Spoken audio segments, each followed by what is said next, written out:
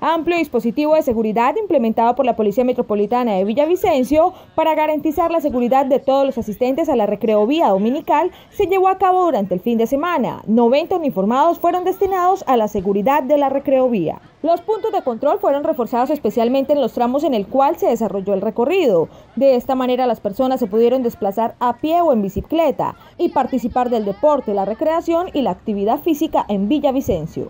Este acompañamiento se realizará todos los fines de semana durante la recreo vía para garantizar una buena y sana convivencia de propios y turistas que salen a disfrutarla en compañía de sus amigos o familiares. Asimismo, la Administración Municipal, a través de la Secretaría de Gobierno, trabajan de la mano con la Policía Metropolitana en campañas de cultura ciudadana y de control de venta y consumo de estupefacientes.